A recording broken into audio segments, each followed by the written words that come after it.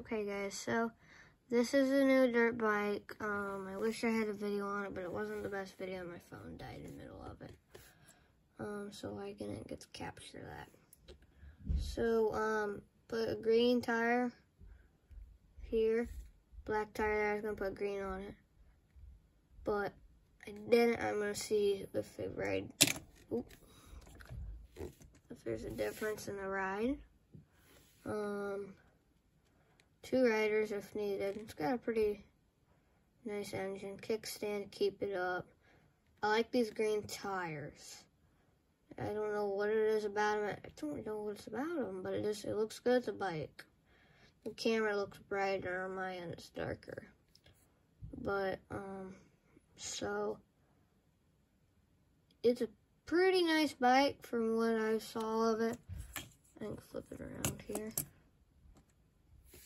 So it's a um the camera isn't gonna focus.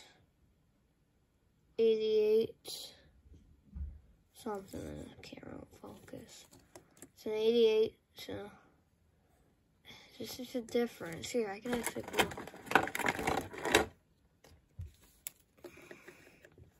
because there's two green there's two green tires that came with it. I don't know if it's more like there's more tread. I don't know, it looks beefier or something. I don't know what's a, I don't know about them. I I like the green. Right then it gets dirtier easier and you can see the dirt on it. But so far, I'm liking the dirt bike. Paid $3 for it.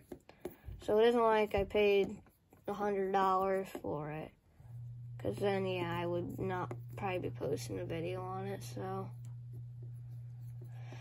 So um these of course these so i really wish it was like, like a remote control you could drive it around. But it'd probably have to be like a three like a training wheels dirt bike. So um i don't know i might tear into it and look at the motor take out that screw there, take that screw in the motor, and look at it and see what kind of, how really it looks. Let me know in the comments of what I should do with this. I'm not selling it, so don't put that in the comments. Nope, not selling it. So, I'll catch you guys in the next one. See ya.